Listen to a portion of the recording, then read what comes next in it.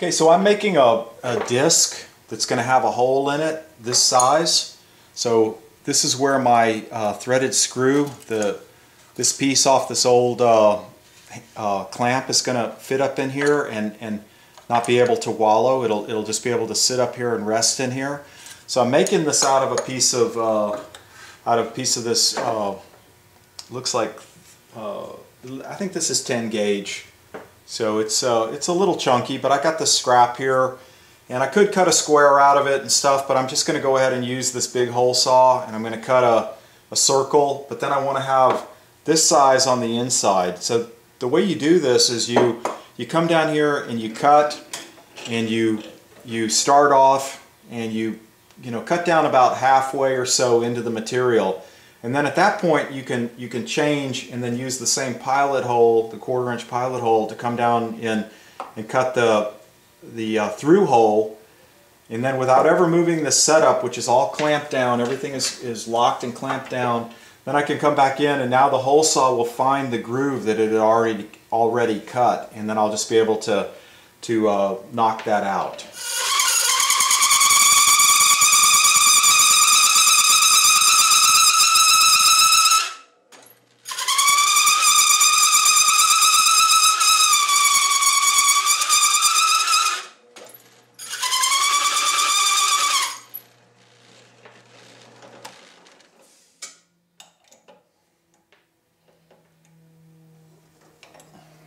This thing's going to be hot.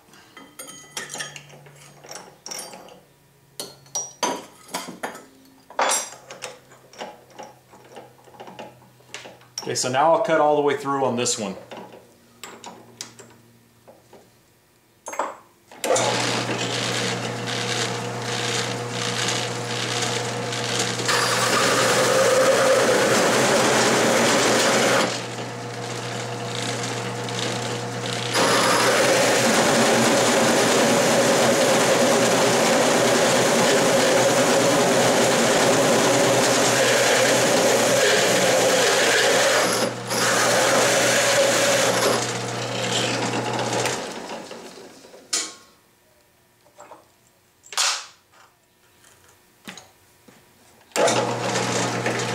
Now I can come all the way through it.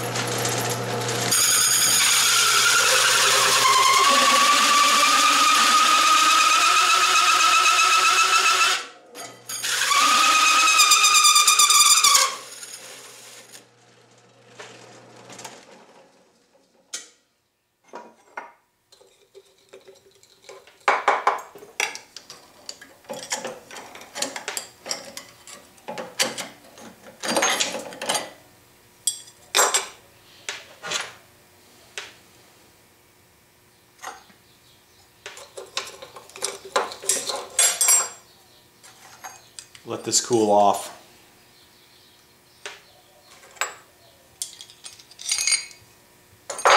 So there, that's going to just be the locator for this.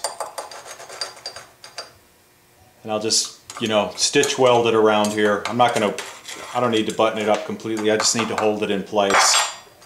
Okay, this is the next day uh, from my first fabrication day, and I've kind of thought about a couple things, and I really can't stand this curved material.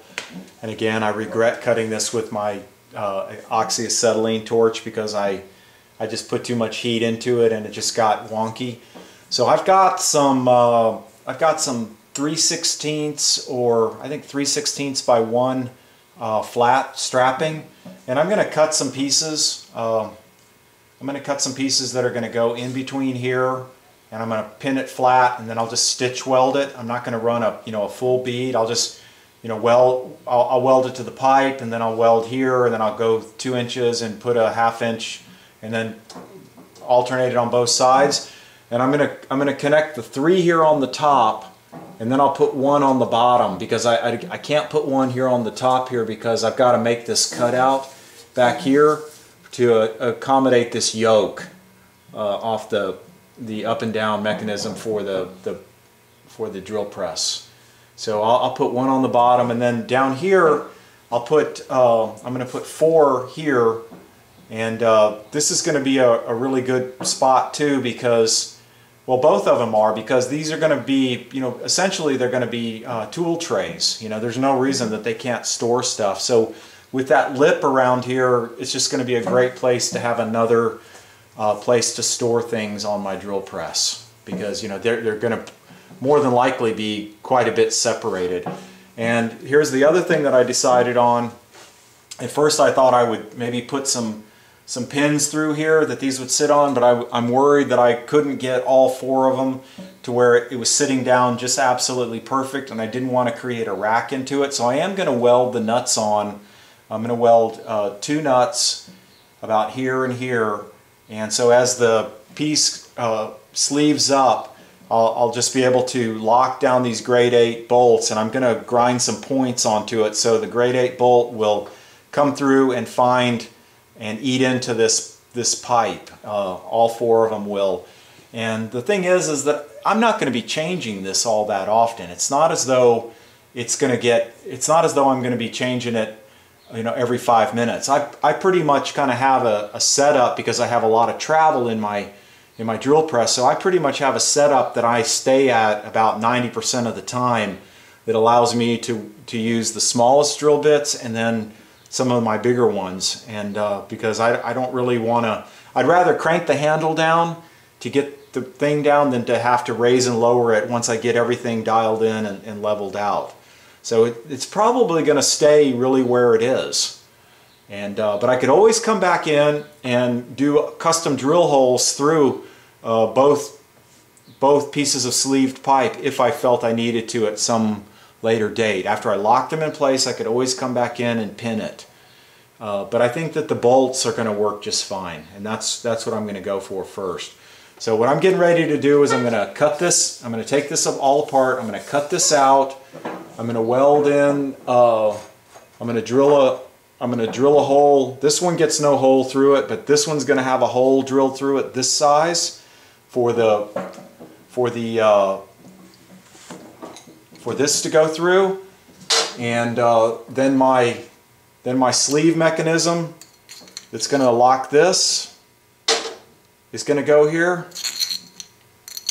on the top of this one I'm going to drill a hole that's the the double sleeve that's going to be tapped that's going to have the you know my threaded adjustment that's going to get put into this one I'm going to weld my flats on to straighten this out and to stiffen it and it just tie it together even more. I don't really need to. Probably the thing to do would be to, to maybe go to 3 16 inch plate and not cut it with a, a torch, either use a plasma cutter or a jigsaw and then you wouldn't need anything. But like I said, these lips are going to actually be really nice because they're going to be uh, tool bounding retainers for just having more uh, storage here on my drill press. You know, man, a great place to toss drills and taps and all kinds of things. So that's what I'm getting ready to do. I'm going to pull this apart. I'm going to drill these holes out. And, uh, you know, then I think the next time it goes together, it's going to go together and get welded.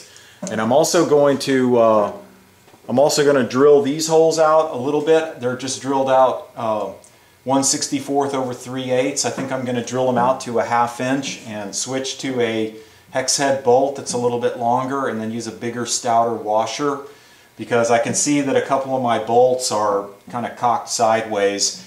But again, it's this casting was not accurate. You know, my layout was accurate, but the casting, you know, they the, the two slots were not exactly parallel. I mean, I tried to, to do it, but I got to just open these holes up so there's just a little bit more adjustment and then take up the, the slop with a, a washer.